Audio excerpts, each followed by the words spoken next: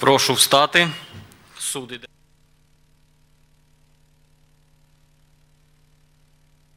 пленарному засіданні першого сенату е, справи е, 3.20 скисна 2023 за конституційною скаргою Чегеля Богдана Івановича щодо відповідності Конституції України, конституційності окремих положень абзацу першого частини 3 статті 87 Закону України про державну службу від 10 грудня 2015 року в редакції Закону України про внесення змін до Митного кодексу України та деяких інших законодавчих актів України в зв'язку з проведенням адміністративної реформи. Так. Це у нас е, представник, да?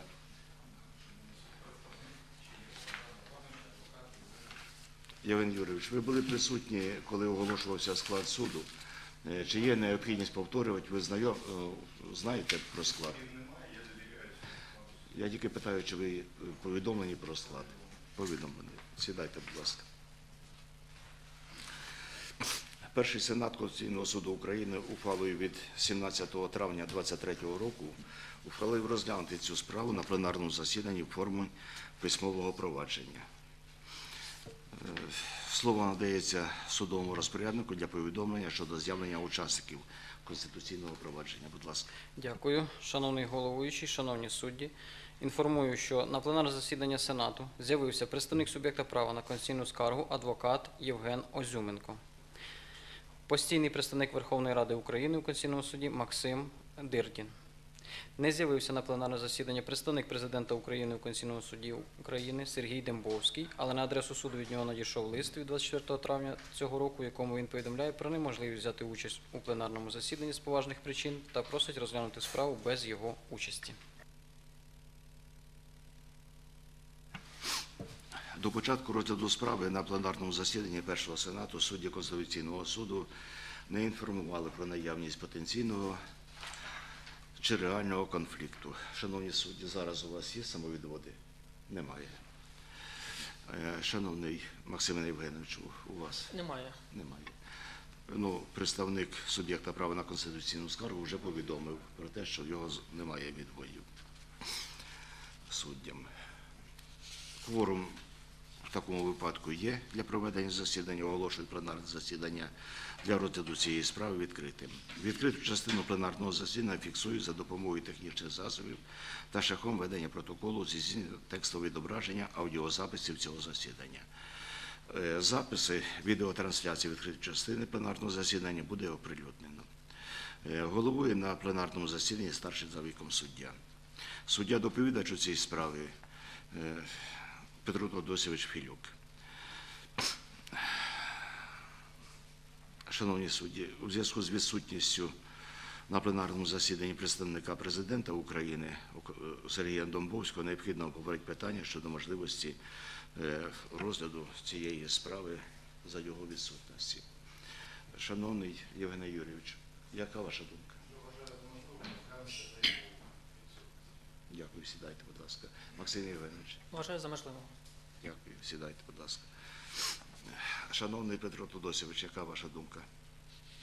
Вважаю за можливим розгляд справи відсутності представника президента України в Конституційному суді. Шановні судді, у вас будуть інші думки з цього приводу? Ні. Е, Тоді пропоную розглянути справу за відсутності представника президента в Конституційному суді. Прошу проголосувати. Рішення ухвалено.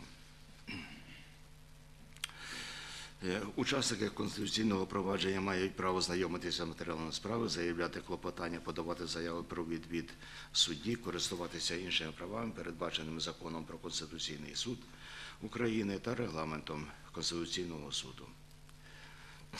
Е, І учасники Конституційного суду зобов'язані надати документи, матеріали та іншу інформацію, необхідні для повного та всебічного розгляду справи.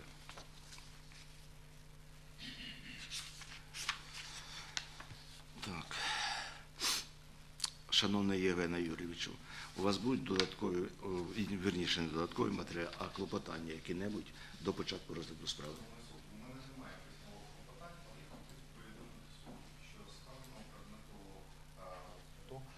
На розгляді в Конституційному суді знаходиться чотири справи. Дві справи знаходяться в другому сенаті. Це справа за скаргою е, Стефорука та Палатова. Ухвалою від 20 квітня 2023 року вказані справи було об'єднані Великою Палатою. І на розгляді першого сенату попередня справа Бредуна і справа Чегіля Богдана Івановича. Я вважаю за доцільним також їх об'єднати. Шановний Євгеній Юрійович, усі справи знаходяться у провадженні першого сенату. Все. Сідайте, будь ласка. Максим Євгенович, у вас будуть клопотання? Немає ваш честь. Ви сідайте. Так, слово для е, викладення змісту конституційної скарги та підстави для відкриття конституційного провадження у справі надається судді доповідачу Петру Тодосівичу. Будь ласка, Петро Тодосівич.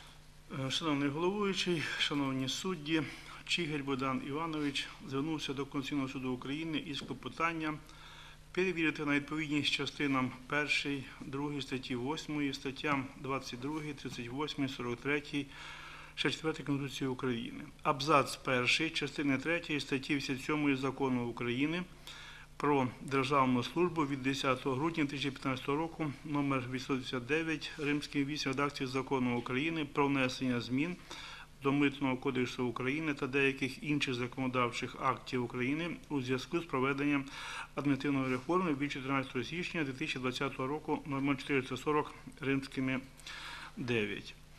Оспорюваними положеннями закону встановлюються особливості припинення державної служби за ініціативою суб'єкта призначення у разі звільнення державного службовця на підставі скорочення чисельності або штату державних службовців, реорганізації або ліквідації державного органу. Перша колегія суддів Першого Сенату Конституційного суду України ухвалою 26 квітня цього року відмовила у суді конституційного провадження в частині перевірки на конституційність першого та третього речень абзацу першого частини 3 статті 77 е, закону номер 859 на підставі пункту 4 статті 62 закону України про Конституційний суд України за неприйнятністю конституційної скарги та відкрила конституційне провадження щодо відповідності Конституції України другого речення абзацу 1 частини 3 статті 77 з огляду на те, що конституційна скарга в цій частині за формою змісту відповідає вимогам закону України про Конституційний суд України.